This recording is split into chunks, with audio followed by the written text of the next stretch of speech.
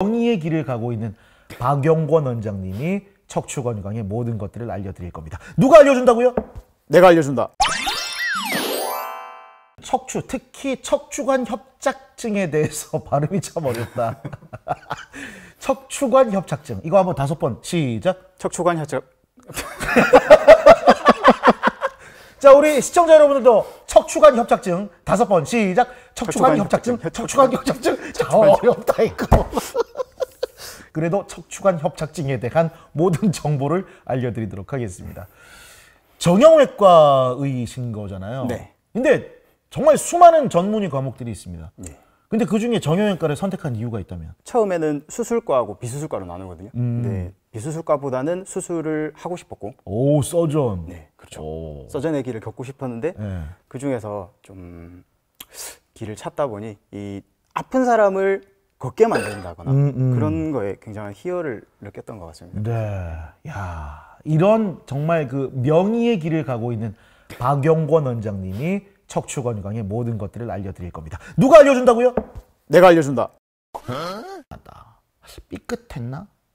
라고 하면 척추관 협착증보다는 허리 디스크에 대한 이야기들을 많이 하거든요. 네. 척추관 협착증이랑 허리 디스크는 어떻게 틀린 겁니까? 척추관 협착증이라고 얘기하는 거는 대부분 퇴행성입니다. 네, 그렇기 네. 때문에 어, 퇴행성이라는 말 자체에서 알 수 있듯이 주로 나이를 먹으면서 척추도 같이 노화가 된다 이렇게 이해하시면 쉽고요. 네.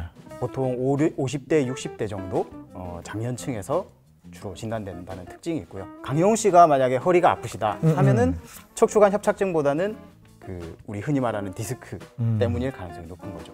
나도 나가 많은데 협착증이 아닌가? 살면서 허리가 한 번도 안 아팠던 사람은 없을 거예요. 없죠. 예. 한 번씩 아플 수는 있는데요.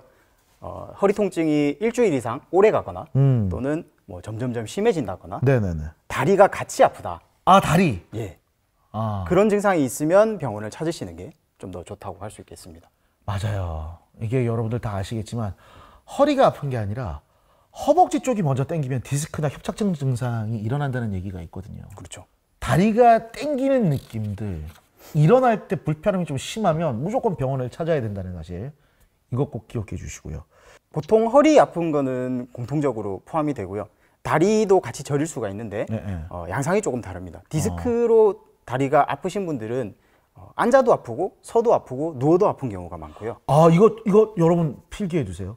디스크로 허리가 아프면 다리하고 전부 다 앉아도 아프고 서도 아프고 걸어도 아프고 다 아프고. 그렇죠. 예. 척추관 협착증의 경우에는 주로 앉아 계실 때는 다 대부분 다 괜찮다고 하시거든요. 예, 예. 근데 서서 걸으시면 뒤쪽부터 이렇게 아. 다리가 아픈 특징적인 방사통이 나타나는 것이 척추관 협착증의 특징이라고 볼 수 있겠습니다. 역시 일타 강사시네.